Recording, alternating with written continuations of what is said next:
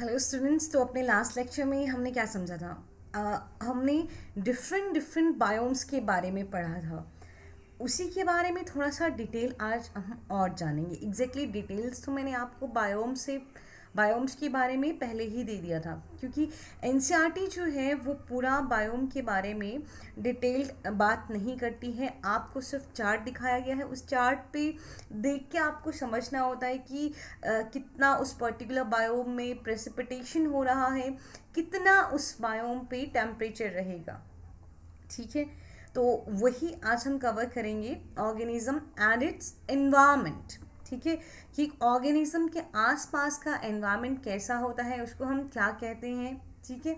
चलिए ecology and organismic level is essentially physiological ecology which tries to understand how different organisms are adapted to the environment in terms of not only survival but also reproduction देखिए हमने जब ecology start किया था तो बहुत कुछ पढ़ा था कि मॉलिक्यूलर लेवल से स्टार्ट होगा सेल बनेगी टिश्यू बनेगा ऑर्गेनिज्म देन पॉपुलेशन पॉपुलेशन से बहुत सारी पॉपुलेशन से कम्युनिटी बनेगी कम्युनिटी से इकोसिस्टम बनेगा इकोसिस्टम से फिर landscape and biome and then whole biosphere has been formed ठीक है? तो इकोलॉजी में दो मेन लेवल पे हम बात करते हैं ऑर्गेनिज्म एंड पॉपुलेशन के लेवल पे हम मेनली बात करेंगे और हमारे चैप्टर का नाम भी क्या है? ऑर्गेनिज्म एंड पॉपुलेशन तो ऑर्गेनिज्म लेवल पे जब हम इकोलॉजी के बारे में बात करते हैं तो हम पर्टिकुलरली फिजियोलॉजिकल इकोलॉजी के बारे में बात कर रहे होते हैं। फिजियोलॉजिकल इकोलॉजी मतलब इसमें क्या समझने की कोशिश की जाती है? इसमें ये समझने की कोशिश की जाती है कि जो अलग अलग ऑर्गेनिजम्स हैं, वो किस तरह से अपने इन्वामेंट के लिए अडेप्टेड हैं? और कैसे वो सर्वाइव करते हैं और कैसे वो रिप्रोड्यूस करते हैं उस इन्वायरमेंट में, ठीक है? तो ना सिर्फ़ सर्वाइवल की बात होगी, बल्कि रिप्रोडक्शन की बात भी रहेगी इस चैप्टर में। फिजियोलॉजिकल इकोलॉजी आप समझ गए कि इस तरह की क्या फ़ंक्शंस रहेंगे ऑर्गेनिजम्स के अंदर कि वो उनको उनकी इन्वायरमेंट के लिए अडाप्ट होने में हेल्पफुल होंगे, ठीक? This is all we are going to study in this chapter okay You may have learned in earlier classes how the rotation of our planet around the sun and the tilt of its own axis cause annual variation in the intensity and duration of temperature resulting in distinct seasons. As you know कि अलग अलग अलग अलग seasons हमारे पास रहते हैं अब मैंने आपको क्लाइमेट और वेदर के बारे में भी एक डिफरेंस बताया था। आई टोल यू कि वेदर जो है, वो day to day even within an hour भी चेंज हो सकता है। ठीक? लेकिन जो क्लाइमेट है, एक जगह का क्लाइमेट अगर ठंडा है तो आप जानते हैं कि इस पर्टिकुलर जगह पे ज़्यादा टाइम पे विंटर्स रहते हैं और थोड़े से टाइम के लिए समर्स आते हैं। तो वो वहाँ का क्लाइमेट है।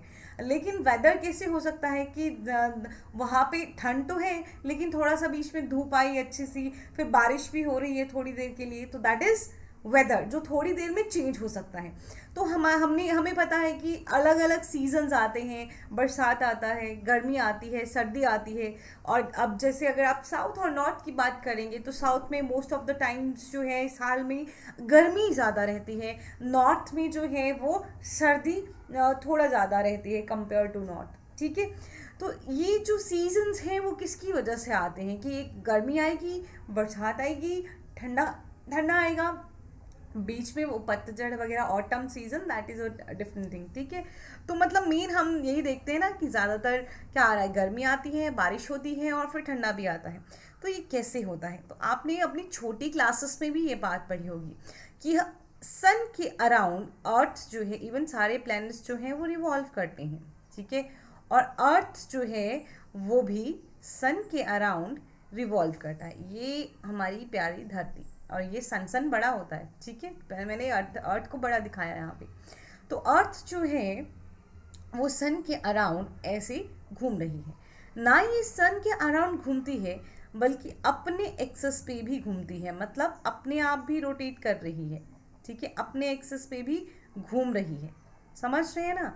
ना सिर्फ़ सन के अराउंड घूम रही है, बल्कि जो टिल्ट हम कह रहे हैं, अपने ही एक्सेस पे भी घूम रही है। जैसे तुम एक क्या करते हो? बचपन में अगर तुम वो एक खिलौने से खेले होंगे, जिसको ऐसे तुम घुमाते हो, नीचे रख के ऐसे फेंकते हो और घुमाते हो तो अपने एक्सेस पे से घूमता है, बहुत गोल गोल घूमता है।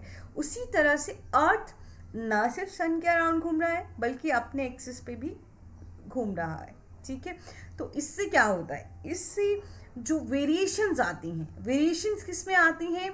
कितना इंटेंसिटी रहेगा, कितना ड्यूरेशन रहेगा टेम्परेचर का, ठीक है? पूरा अर्थ अपने घूमे, खुद पे भी घूमेगा अर्थ के अराउंड भी घूमेगा और इसकी वजह से जो है वो टेम्परेचर वेरिएशंस आएँगी अर्थ पे। ठीक अर्थ का टेम्परेचर जो है वो वेरी करेगा, उसका इंटेंसिटी टेम्परेचर का इंटेंसिटी वेरी करेगा ड्यूरेशन वेरी करेगा और इसी चेंज से ये जो वेरिएशन आ रहा है इंटेंसिटी और ड्यूरेशन ऑफ़ टेम्परेचर में जो चेंज आएगा, उसी की वजह से अलग अलग सीजन्स हमको देखने को मिलते हैं। इज़ इट क्लियर ठीक है।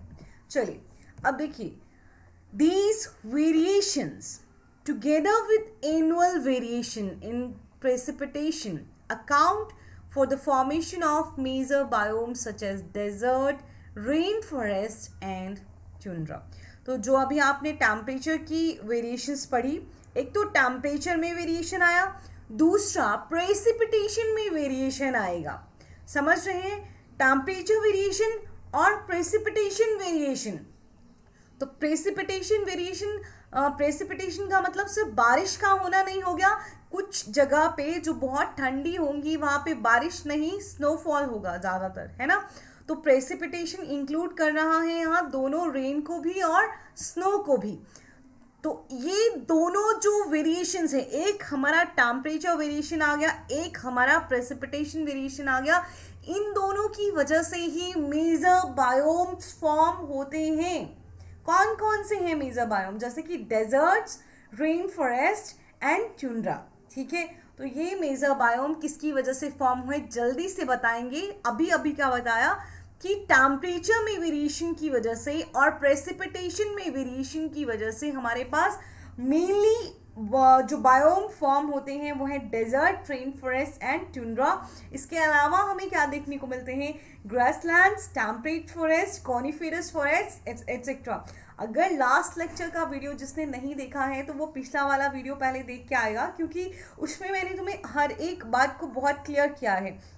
यहाँ पे ये एन e का फिगर है थर्टीन पॉइंट वन जिसमें बायोम का डिस्ट्रीब्यूशन बताया गया है with respect to the annual temperature and precipitation because this are the two factors which are responsible for the formation of major biomes which are desert rain forest and tundra यही दो factors हमने पढ़े तब से, ठीक? देखिए आप। सबसे पहले आपने यहाँ पे देख लेना है आर्कटिक। अच्छा अब आपने लास्ट लेक्चर में फ़र्स्ट लेक्चर जो था उस पर आपको ये भी बताने की कोशिश की गई थी कि ये जो आपका ट्रॉपिक रीजन है, वो कौन सा है? इक्वेटर के आसपास का जो रीजन रहता है अर्थ है ग्लोब है आप जानते हैं ना तो उसमें इक्वेटर है। एक इमेजिनरी uh, लाइंस दो इमेजिनरी लाइंस जो हैं वो दिखाई गई हैं ठीक है? इक्वेटर के आसपास का रीजन क्या रहता है? वो होता है ट्रॉपिकल रीजन ठीक? फिर आएगा सब ट्रॉपिकल रीजन उससे ऊपर ठीक है? उससे ऊपर आएगा टैम्परेट रीजन सब temperate region and then tundra ठीक? तो आर्कटिक एंड एल्पाइन टुंड्रा रहते हैं। आर्कटिक और अंटार्कटिका, आपको याद है, नॉर्थ में मैंने आर्कटिक बताया था, साउथ में मैंने अंटार्कटिका बताया था, ठीक है? तो आर्कटिक एंड अंटार्कटिक या एल्पाइन टुंड्रा आप ले लीजिए, ठीक? यहाँ पे प्रेसिपिटेशन ज़्यादा होगा या कम होगा? प्रेसिपिटेशन जो है, वो स्नो की फॉर्म में होगा, क्योंकि ये बहुत ठंडा एरिया होगा। यहाँ पे बारिश नहीं है सच होगी। क्या होगा? स्नो होगा। और टेम्परेचर कैसा है? बहुत ही कम रहेगा। सबसे कम टेम्परेचर जो हम देखते हैं, वो टुंड्रा रीजन में होता है। वहीं सबसे ज़्यादा टेम्परेचर हमें डेजर्ट में भी और ट्रॉपिकल फॉरेस्ट में भी ज़्यादा टेम्परेचर देखने को मिलता है। ठीक है? सबसे कम डाइवर्सिटी कहाँ होती है? एल ट्यूंड्रा रीजन में ही सबसे कम डाइवर्सिटी होती है। सबसे ज़्यादा डाइवर्सिटी कहाँ होती है? ट्रॉपिकल फॉरेस्ट में। As you know tropical forest जो थे, वो ट्रॉपिकल रेन फॉरेस्ट भी मैंने आपको बताया था। ट्रॉपिकल डेसीडोस फॉरेस्ट भी हो सकते हैं। टैम्परेट फॉरेस्ट हैं टैम्परेट डेसीडोस फॉरेस्ट भी हो सकते हैं। जब हम बोलते हैं डेसीडोस फॉरेस्ट तो डेसीडोस का मतलब होता है कि फॉल लीव्स जो है, वो फॉल होती है और हर बार नई लीव्स बन के आएँगी। ठीक है? पतझड़ का मौसम जिसको हम बोलते हैं। तो जो भी प्लांट्स में पतझड़ के टाइम पे पूरा लीफ फॉल हो जाता है, नई लीव्स आती हैं, वो सारे प्लांट्स जो हैं, वो डेसीडुअस प्लांट्स होते हैं और अगर बहुत सारे ऐसे प्लांट इकट्ठा हैं तो एक फॉरेस्ट बना देंगे तो उसको हम डेसीडुअस फॉरेस्ट बना देंगे, बोल देंगे। अब अगर वो डेसीडुअस फॉरेस्ट ट्रॉपिकल रीजन में है तो उसको ट्रॉपिकल डेसीडुअस फॉरेस्ट कहेंगे। अगर वो टेम्परेट रीजन में है तो हम टैम्परेट डेसीडुअस फ्रेस कहेंगे। समझ गए? अब कोनीफिरस फ्रेस जो हैं, इस रीजन को मैंने और क्या नाम दिया था? ताइगा ठीक है? एनसीईआरटी क्लियरली नहीं बताती है। आपको पता होना चाहिए क्योंकि यहाँ पे कोनीफिरस लिखा है ताइगा कैसा रीज़न बताया था मैंने कि जहाँ पे लंबे टाइम के लिए विंटर्स होता है और बहुत कम टाइम के लिए समर्स आता है और वहाँ पे कोनीफेरस फॉरेस्ट होंगे, कोनीफेरस फॉरेस्ट जो हैं, वो उनकी लीव्स भी, उनमें सारी अडेप्टेशन ऐसी होती हैं कि वो अपना वाटर लॉस को प्रिवेंट कर सके, है ना? क्योंकि ज़्यादातर बर्फ़ रहेगा तो अच्छे से पानी नहीं मिलेगा। चलिए डेजर्ट्स जो हैं वो देख सकते हैं आप, दिन टेम्परेचर कम से लेके बहुत ज़्यादा तक भी इनमें टेम्परेचर है। सबसे ज़्यादा डेजर्ट्स में ही टेम्परेचर हो सकता है। मतलब मैक्सिमम रेंज तक जो टेम्परेचर जाएगा, वो डेजर्ट्स में जाएगा। तो सबसे कम से सबसे ज़्यादा तक हो सकता है, ठीक है? तो रात की बात करते हैं तो डेजर्ट्स में रात में टेम्परेचर लो रहेगा। दिन में टेम्परेचर हायर साइड रहेगा। क्लियर डेजर्ट से भी ज़्यादा कई बार किसमें हो सकता है? ट्रॉपिकल फॉरेस्ट में एंड ग्रासलैंड में। As you can see here ये ग्रासलैंड है। ग्रासलैंड में जो है वो ज़्यादा हो सकता है टेम्परेचर और ट्रॉपिकल फॉरेस्ट में भी ज़्यादा हो सकता है। ठीक? तो डेजर्ट दिन में गर्म होते हैं, रात में ठंडे होते हैं। ट्रॉपिकल फॉरेस्ट में क्या कहा था? ट्रॉपिकल रेन फॉरेस्ट में मेनली कि वहाँ पे जो है वो बारिश होगी, दो से चार बजे तक चार बजे के बीच में हर रोज़ बारिश होती है। बहुत ज़्यादा आपको डाइवर्सिटी जो देखने को मिलेगी वो ट्रॉपिकल रेन फॉरेस्ट में सबसे ज़्यादा डाइवर्सिटी आपको देखने को मिलती है। ग्रासलैंड ग्रासलैंड तो एक तो होंगे जहाँ पे सिर्फ़ ग्रास ग्रास ही होगा मतलब आपकी फ़सलें आपने उगाई होंगी मतलब ग्रासेस वाली जो स्पीसीज आती है ना सारी, बस वही ग्रो कर रही होंगी। और एक ऐसी भी जगह आती है जहाँ आपको स्कैटर्ड ट्रीज भी देखने को मिलते हैं। अब इसके बारे में भी एनसीईआरटी नहीं बोलता है, ठीक है? सवाना, उसको हम बोलते हैं, सवाना में क्या होता है कि ग्रासलैंड दिखेगा, लेकिन ग्रासलैंड में आपको बहुत दूर दूर पे स्कैटर्ड ट्रीज भी दिख सकते हैं तो सवाना भी आप याद रखेंगे। ठीक है? अब इन जो, ये जो भी आपने बायोम पढ़े यहाँ पे, इन बायोम में जो भी ऑर्गेनिजम्स रहेंगे किस तरह से डेजर्ट जीरोफिटिक कंडीशंस के लिए, किस तरह से जो एनिमल्स हैं प्लांट्स हैं अडेप्टेड हैं, किस तरह से कोनीफेरस फॉरेस्ट में प्लांट अडेप्टेड है।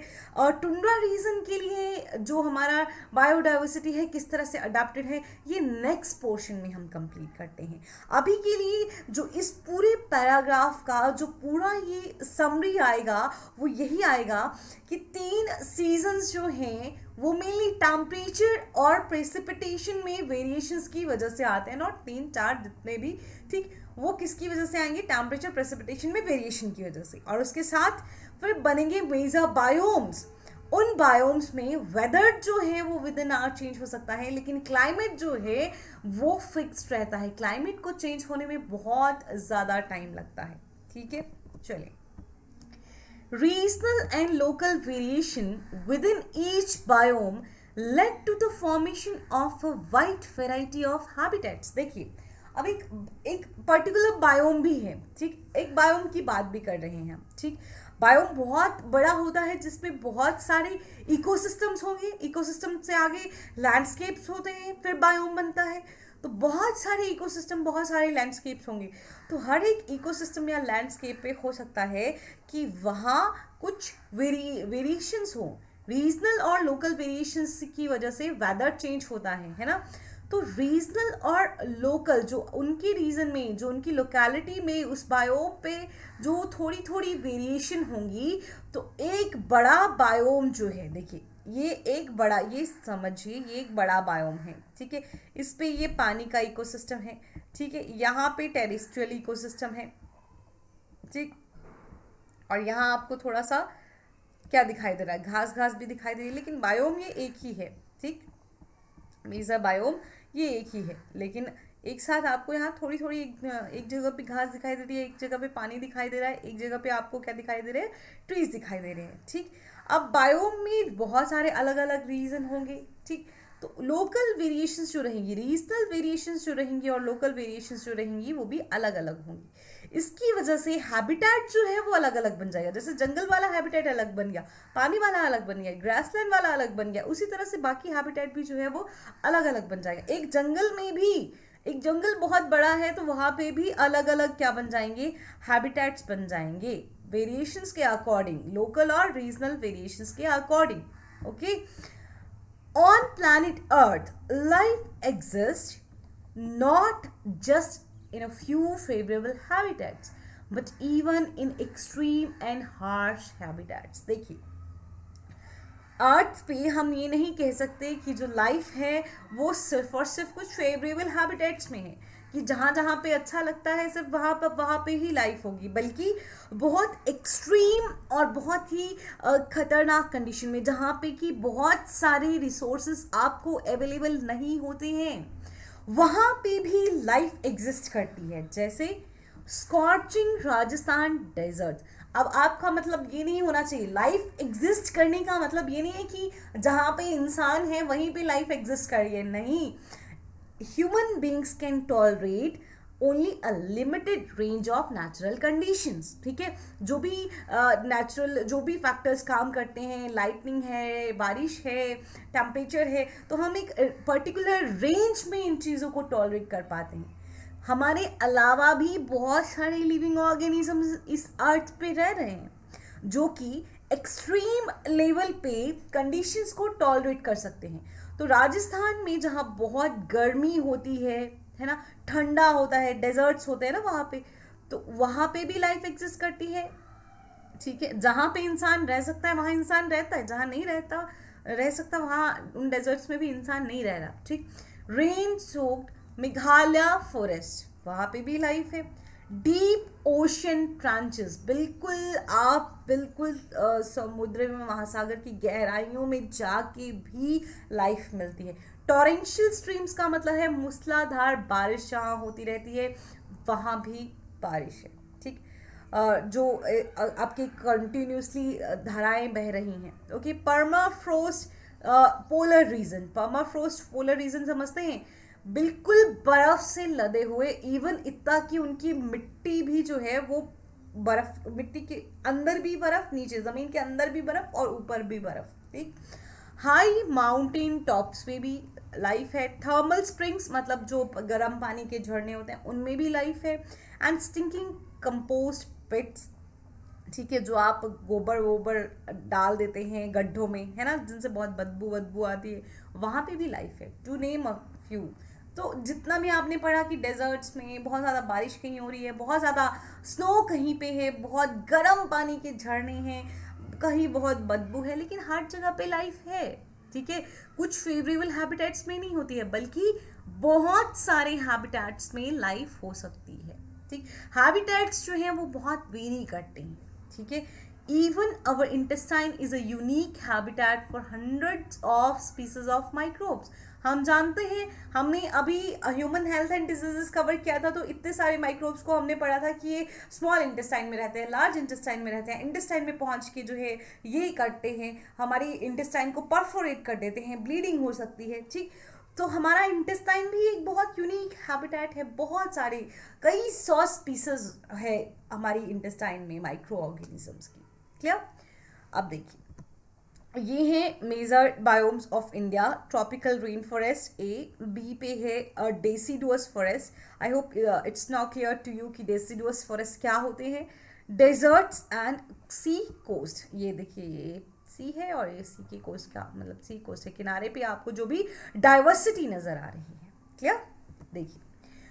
What are the key elements that led to so much variation in the physical and chemical condition of different habitats?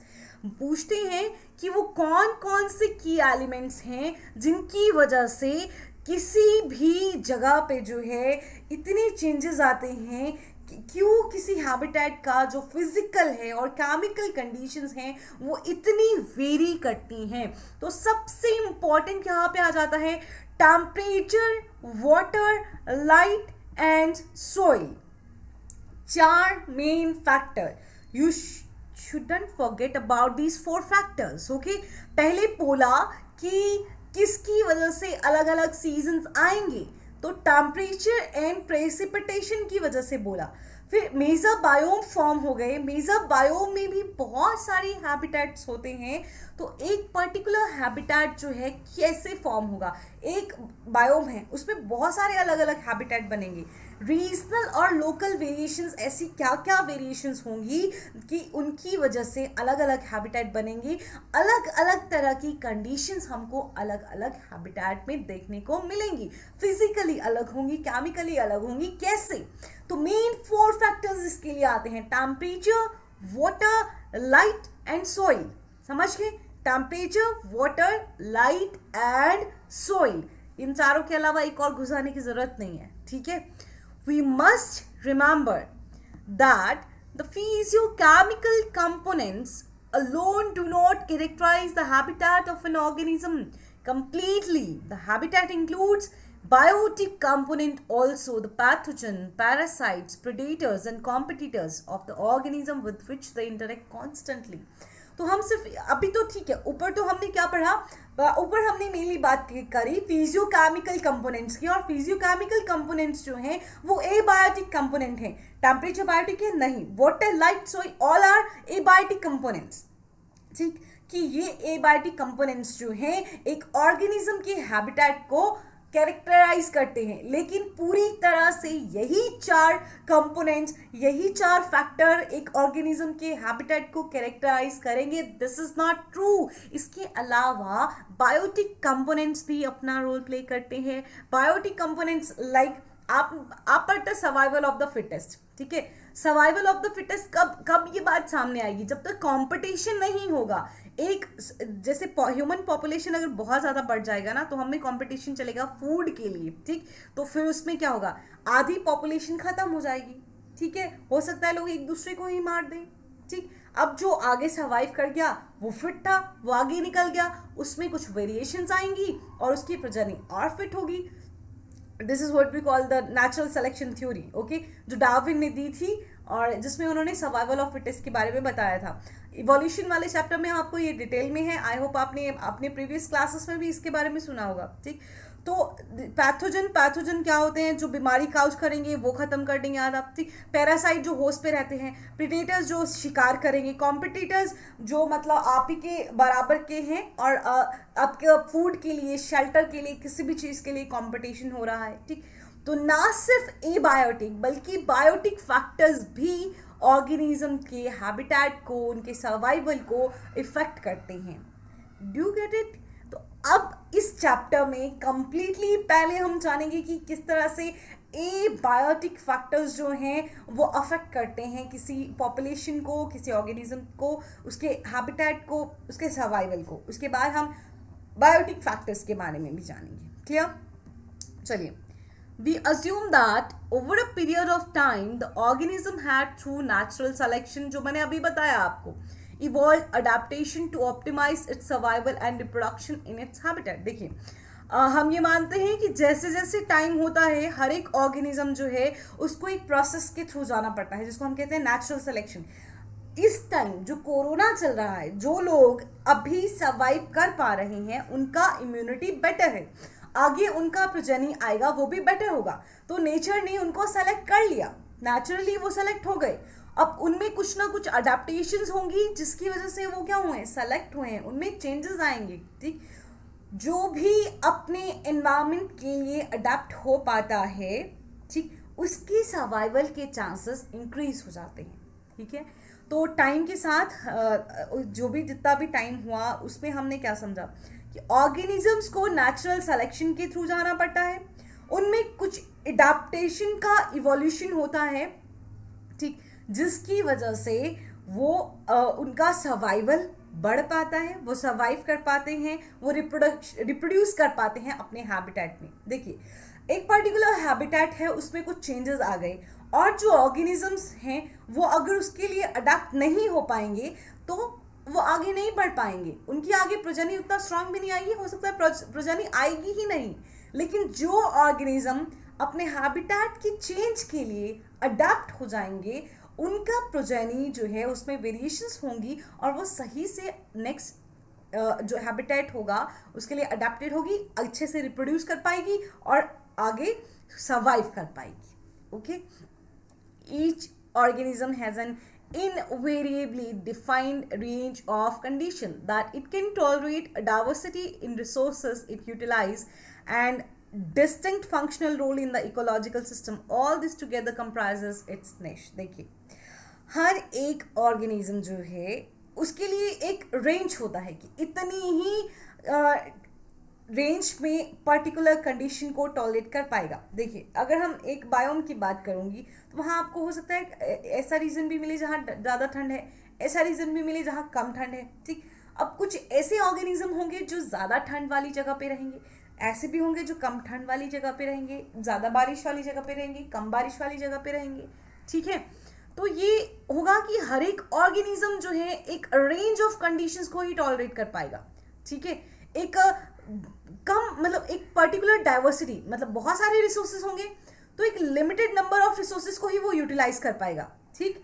और कुछ ही फ़ंक्शन वो परफॉर्म कर पाएगा इकोलॉजी में, या अपने आसपास के एनवायरनमेंट में।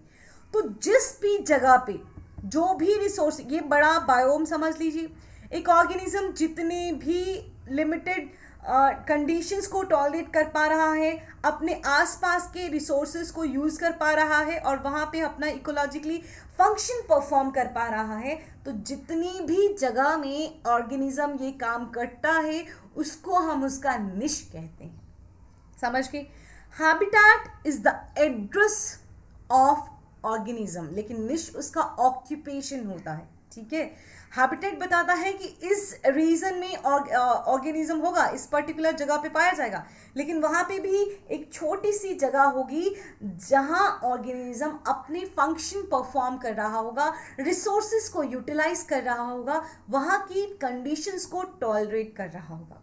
तो ऑर्गेनिज्म का वही रीजन जहाँ वो ये सारे काम करेगा इकोलॉजिकल फ़ंक्शन परफॉर्म करेगा वहाँ की रिसोर्सेज को यूटिलाइज करेगा कंडीशंस को टॉलरेट करेगा उसी जगह को ऑर्गेनिज्म का निश कहा जाता है हैबिटेट एक ब्रॉड स्पेक्ट्रम है निश बिल्कुल वो छोटी सी जगह जहाँ आप रहते हैं फॉर एग्ज़ाम्पल आप जिस भी गाँव में रह रहे हैं आप उस गाँव के रिसोर्सेज को यूटिलाइज कर रहे हैं वहाँ पे कुछ भी काम होता है आप वो अपना काम करते हैं ठीक है तो वही चीज़ क्या हो जाती है वही आपका निश है पर आपका हैबिटेट पर्टिकुलरली क्या आ जाता है? इवन आपका घर आपका निश हो जाएगा, आपका पर्टिकुलर लोकेलिटी आपकी निश हो जाएगी, ठीक? आपका तहसील एक तरह से आपका एड्रेस की तरह आता है, ठीक? आप पूरी तहसील के रिसोर्सेज थोड़ी खुद के लिए यूटिलाइज कर लेंगे, ताल्लुका what you call it okay clear है? निश क्या हो गया? हैबिटेट क्या हो गया? कौन कौन से फैक्टर्स हैं जो ऑर्गेनिजम्स को, उनके हैबिटेट को इन्वायरमेंट को, उनके सर्वाइवल को अफेक्ट कर सकते हैं?